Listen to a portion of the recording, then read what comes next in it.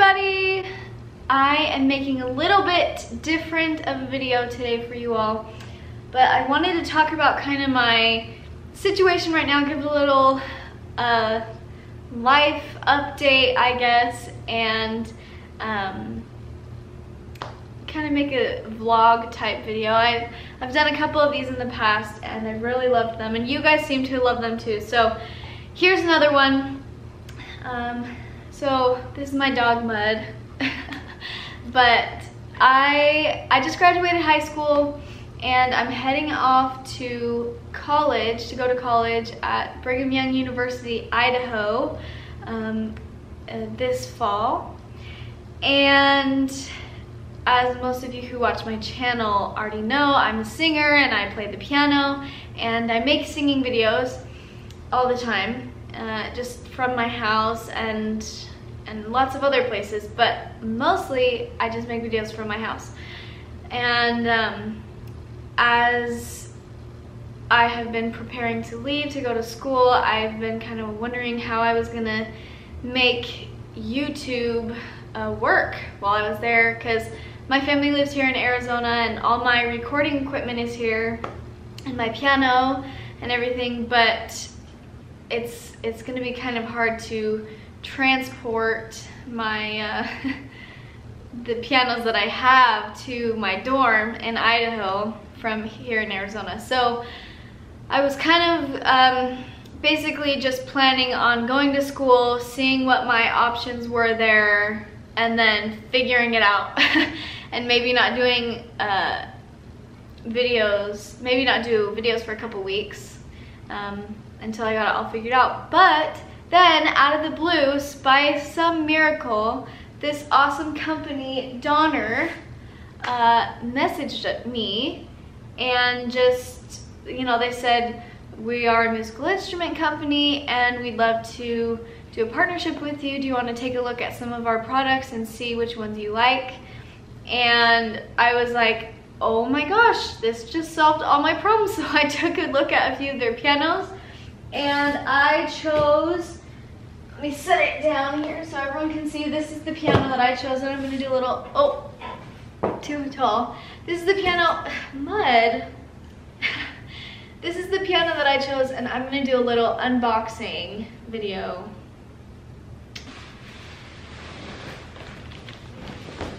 It's the DEP20 digital piano. Ah! Oh my gosh, okay.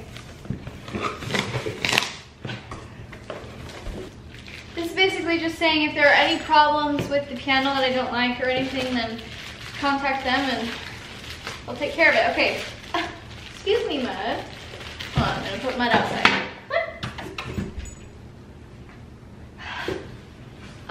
Okay, I'm back.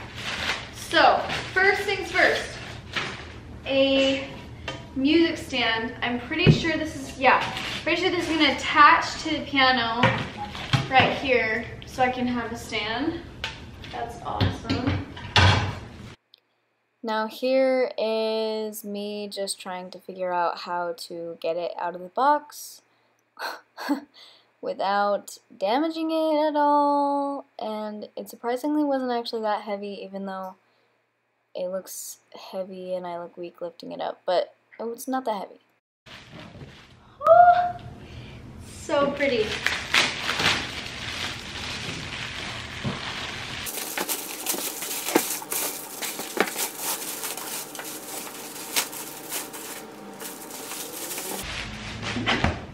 Sweet. Okay.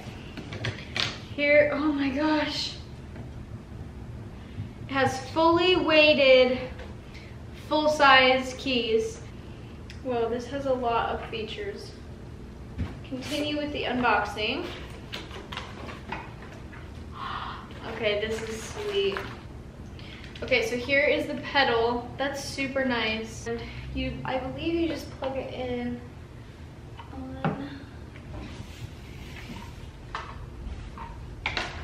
oh right here so the sustain pedal goes plugs in right here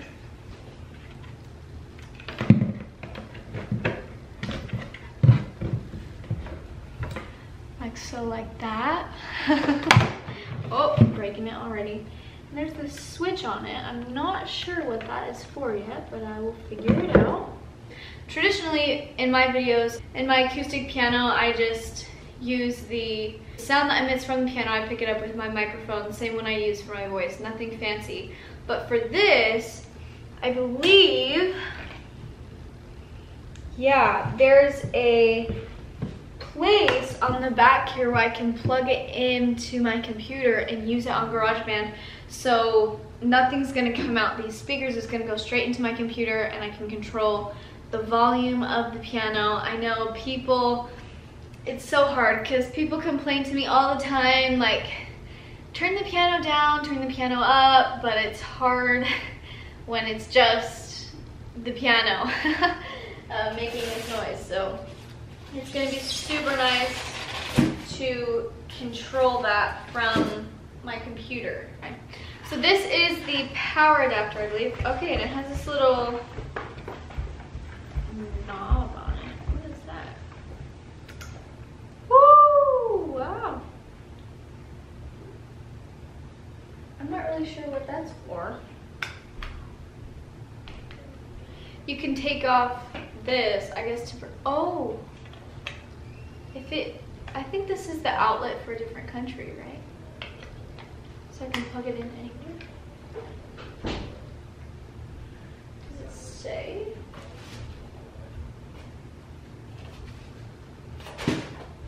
I'm not really sure, but it has this feature which is cool. So you can take off, maybe it's to protect it. You can take off the plug. Maybe someone knows why it does that. You can tell me. Um, and then you just plug this into the wall and then the power goes right here. Power cord plugs in right here. Um, all the sand just fits on. That's so nice. You can also get the Donner digital piano DEP 20 with a stand. Not, it makes it non-portable. So like if you want a digital piano like this, you could it could come with legs on it. Um, I specifically chose one without the legs and then I just have a regular regular piano stand that I can put it on um, so that I could transport it to college and keep it in my dorm and if I need to put it away it can be um, stored in another place. Um, but I'm so excited to try this out. I'm gonna plug it in and test it out. Alrighty. Okay I got it all set up on my stand. I got my music stand. I'm just gonna put it on to show you. It's so simple. I love it. You can just click it right on and then if I don't need it and I want uh, to film a video like frontwards to see my uh, hands play, then that's super easy to just attach it to, which I love. Um, let's turn it on and test it out. So here's the power button right here. I'm just gonna hold it down for a second and it'll turn on.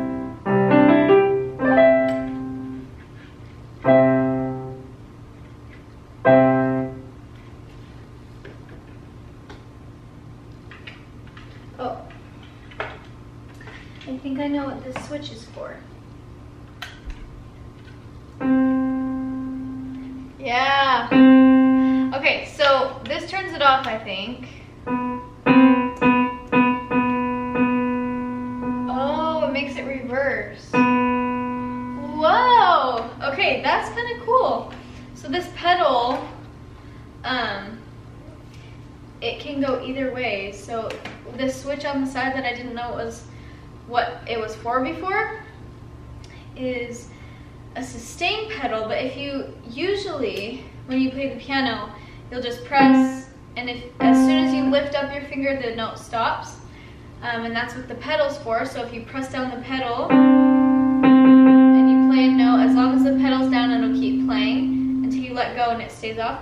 And then if you switch this pet, the switch on the side, then it is the opposite. So I'm not pressing the pedal, but I'm pressing the note and lifting up and it's still playing. But then as soon as I tap this, and it stops. And if I switch it,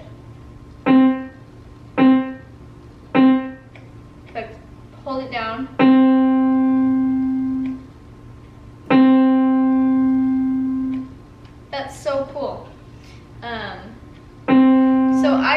to play it this way where you have to hold it down and press the note um, and your pedal controls when it starts and stops opposed to the other way. This is the traditional way of, uh, of an acoustic piano.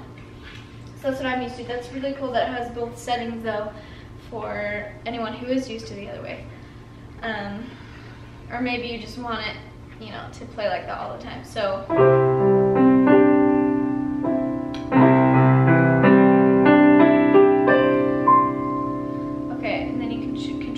Volume. That's off.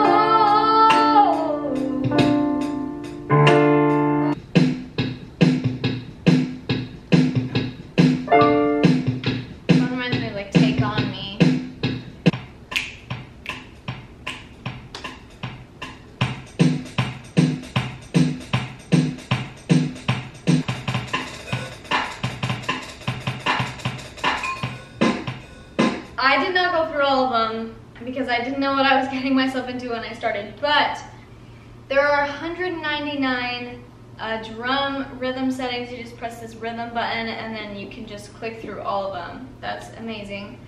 I can also make my own drum beat on here. If I ever wanted to create my own rhythm on here, I could actually record it by pressing this record button right here. And then I could add my own track on here. So if I'm ever playing and I want a specific drum beat, I can just press, um, I can set it up so I can have that track ready on here when I start a song. And then just press start. And my drum beat will play along with me. That is so cool. Okay, this is a full 88 key digital piano, uh, full size, full weighted. That was my one request.